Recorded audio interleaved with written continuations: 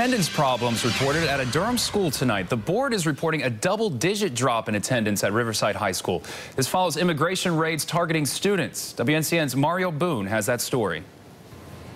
Well, a lot of activity here at the Durham Public Schools headquarters. The most significant development is the school board just voted to pass a resolution opposing the arrest of its students in these so-called immigration raids. Now, the move comes after this student, Wildin David Guillen Acosta, was arrested January 28th on his way to Riverside High School.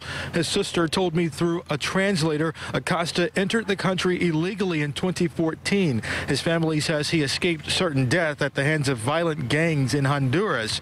Also developing tonight is this. Riverside High School is home to the largest Latino student population in the county, and we just learned that since these immigration raids, attendance has dropped by at least 20%. Now, I'm told students are simply too afraid to come back to school. This has caused serious, serious uh, harm to the entire community. It's terrorized everyone, and Wildin is, is still detained, and he face, faces imminent deportation. And back here outside the headquarters again. Now, we plan to check in with uh, school leaders over at Riverside tomorrow to uh, find out what attendance is looking like there. We are also told that the student in this particular instance, Acosta, is being held in Georgia, and plans are underway to deport him back to Honduras. Reporting outside the Durham Public Schools headquarters, I'm Mario Boone, WNCN News Now.